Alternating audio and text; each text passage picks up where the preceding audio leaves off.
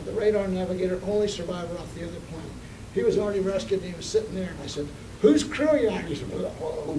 I said, okay, I'll talk to you later. And I'm sitting down here happy as a clam, and the pilot was sitting about as far away as you are from me in a jump seat of the SA-16. And I thought, how could, I said, who's that? And I said, that's the pilot.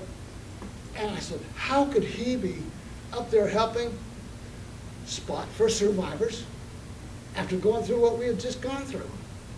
So I didn't think too much more about it because we rescued another guy and then another guy, my navigator and EW. So there's four or five of us in this plane. then we decided, okay, we're gonna take off. He hit waves, he hit, nothing. About the sixth time, fifth or sixth, I can't remember, we tried it and he hit, uh, hit these waves and straight in, well, right wing first. And I looked out and the propeller looked like my fingers. And I said, oh, we're not going anywhere. Just then, this bilge cover, this red bilge cover, popped up and floated down the aisle. I said, we're gonna sink. And they sank my life raft. I want to rescue that thing again. Wait a minute, guys, what's going on here? And this thing's floating down. I said, that thing is full. And the PJ came by and he, he didn't seem to be too worried. I was worried. I've been through some stuff and he,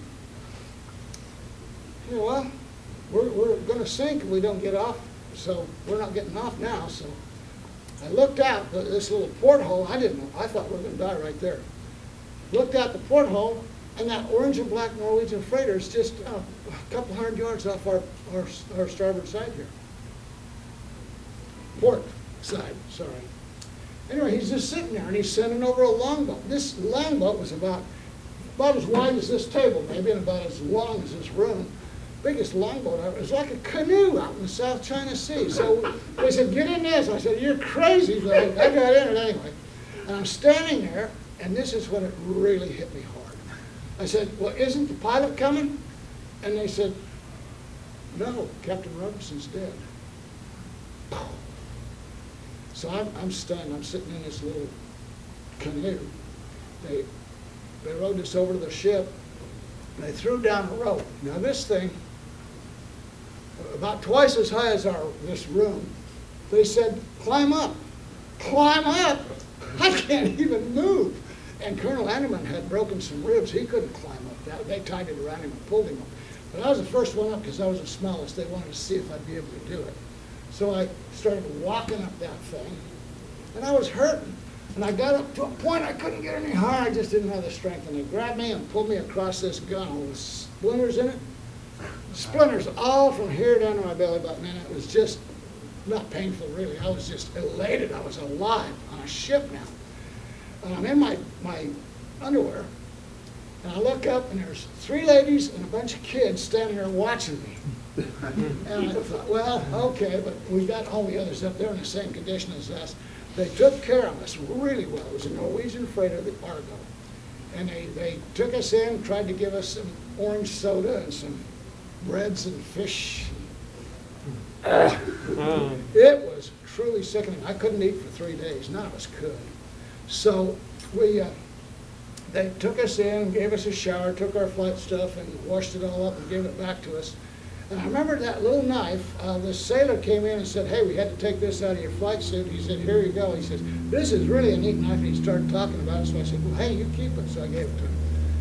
But he was just a nice guy. All the Norwegians were just truly wonderful to us, and they saved our lives. They took us for about an hour and a half on the ship, and then a Norwe, I mean, a, uh, uh, a Navy ship, the Point Defiance, that dropped the bathysphere Trieste down to the bottom of the Marianas Trench couple of years before that.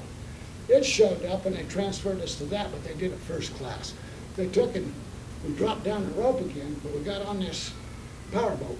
They took us over, drove us in the back, and uh, we got in and they asked us especially what our names were and serial numbers several times. We had to tell the captain what happened, we had to tell this what happened, and they showed us how to use the head, and they did all this stuff. And they took us back to Subic Bay and then flew us to, to the Clark Hospital. Uh, we were the first people, I think, to go in the brand-new Clark Hospital where all the POWs came out after the war. And we were sitting in there, and I said, hey, my neck hurts like mad. And he said, well, you just ejected it, should. So they sent us back to Guam, and we were there for the accident report and going through the boards and all that stuff. We finished with that stuff, and then we got to go home. And it was absolutely wonderful to be able to be alive and get home again. And I had just gotten married, and I saw my bride.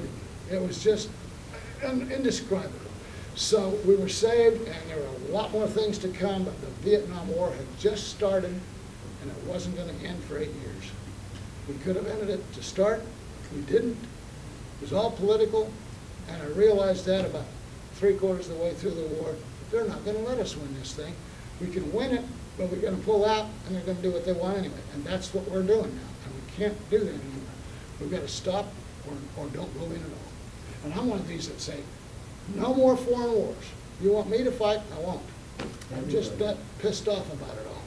If you want to have a war, I'll be glad to fight it. If you don't want to have a war and you want to play pissing games with the enemy, I'm not going to do it.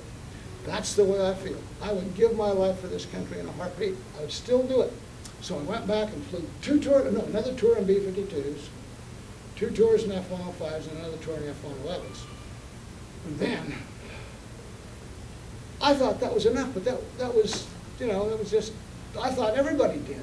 But it was, I tell you, it was an experience that I wouldn't forget and can't remember, because I don't want to, but it's something that was over. And I am glad I lived through it. But that's the end of my, the story. There's a lot more to come. Oh, I know one thing. I wanted to read to you the very opening of my next book, because it kind of describes how I feel about these things. And because I went on to fly F-105s, and this is the story, Combat High, about flying F-105s. It's just a short little thing I want to read you.